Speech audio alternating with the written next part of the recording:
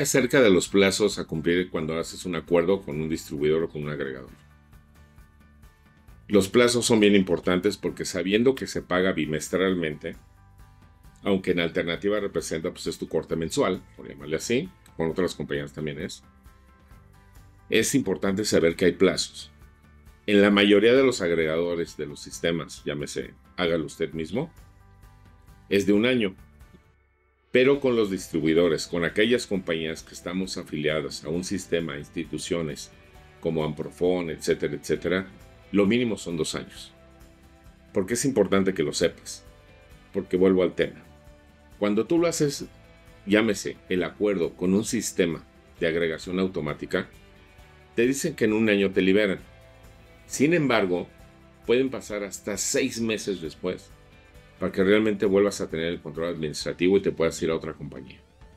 Entonces es muy importante que sepas esto. Con la distribución digital, con los plazos en un acuerdo como el de alternativa, que es de dos años, buscamos tener un éxito completo, es decir, cuando lo haces con un sistema, hágalo usted mismo, pues es obvio que tal vez no les importe mucho el crecimiento, por el sistema que es bimestral, aunque luego es pago mensual.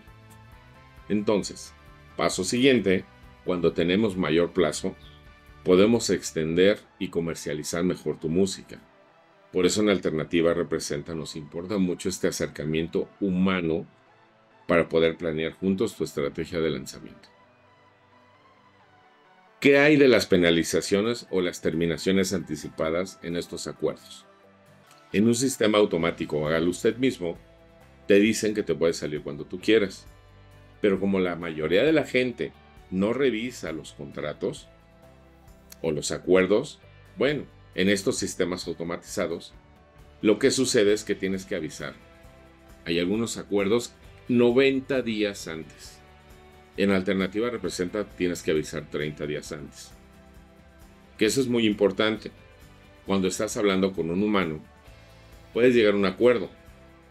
Puedes pedir que se te olvidó mandar la carta 30 días antes o avisar bajo un correo 30 días antes. ¿Qué era tu intención? ¿Qué era tu intención? Ya terminar el acuerdo o ya no renovarlo. Pero con un sistema automatizado, hágalo usted mismo, etcétera, etcétera.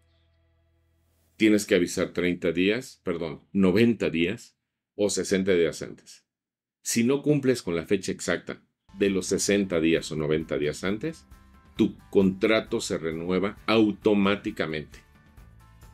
En alternativa representa también nuestro acuerdo se renueva automáticamente. La diferencia es que queremos que estés feliz. Y si por alguna razón tienes una propuesta mejor que la que hemos hecho durante este tiempo que hemos trabajado el acuerdo y se te olvidó avisar 30 días antes, puedes llamar por teléfono, mandar un correo dar tu explicación y sabes qué vamos a hacer, vamos a respetar tu decisión de irte.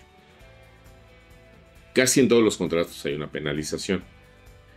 Con nosotros debes de comprender que al tener un recurso humano y sabiendo que van muy bien las cosas, pues sí nos cuesta un poquito o nos duele que te vayas. Entonces vamos a buscar todas las maneras posibles de que te quedes con nosotros. No todo es dinero en el proyecto. Ojo, la comunicación sustituye muchos beneficios que unos sistemas automatizados te dan, como un 5% menos, a que luego te quiten de tu parte autoral. Entonces es bien importante que sepas que en los acuerdos que estás firmando, de entrada, hay términos y condiciones que nos obligan a ambas partes a cumplir con un plazo. Reitero la parte humana. Con un sistema tienes que cumplir al pie de la letra lo que diga el acuerdo.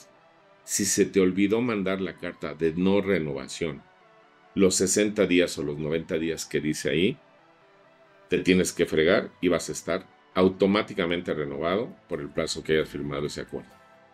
Y en la alternativa representan